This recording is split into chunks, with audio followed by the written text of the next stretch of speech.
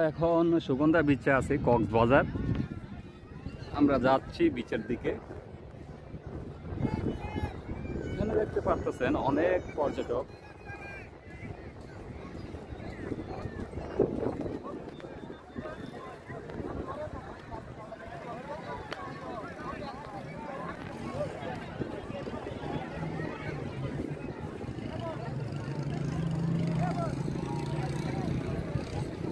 আমরা সুগন্ধা বিচে চলে আসলাম।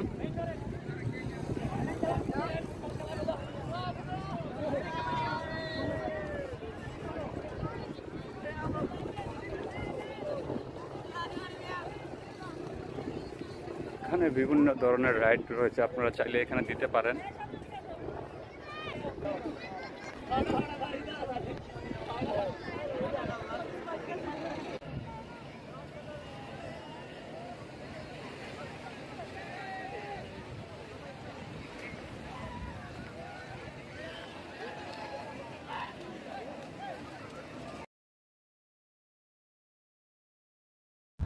কক্সবাজার সমুদ্র সৈকত নিয়ে কথা বলতে প্রথমে মাথায় আসে এটি পৃথিবীর সর্ববৃহৎ সমুদ্র সৈকত এবং বাংলাদেশের সবচেয়ে জনপ্রিয় পর্যটন স্থান।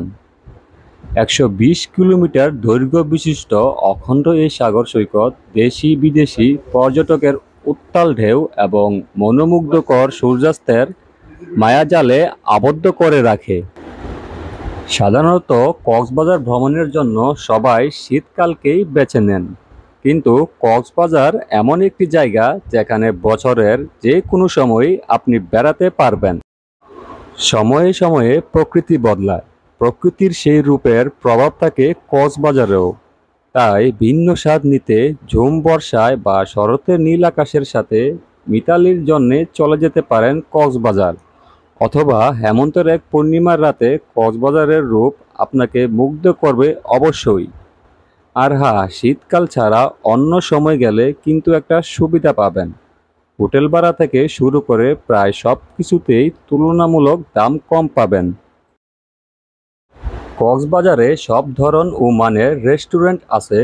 মধ্যম মানের বাজেট রেস্টুরেন্টের মধ্যে রোদেলা ঝাউবন ধানসিঁড়ি, নিরিবিলি ইত্যাদি। সিজন অনুসারে অন্য অনেক কিছুর মতো এখানে খাবারের দাম কম বেশি হতে পারে। বর্তমানে অনেকগুলো হোটেল ও রিসোর্ট আছে, যেগুলোর রুম থেকে সুন্দর সমুদ্র সৈকত দেখা যায়। অনেকেই এমন হোটেলের খোঁজ করেন, যেখান থেকে সমুদ্র খুব কাছে। তবে এরকম বিচ ভিউ হোটেল রুমগুলোর ভাড়া তুলনামূলক বেশি হয়ে থাকে। আপনি কম দামে থাকতে চাইলে অফ সিজনে যেতে পারেন।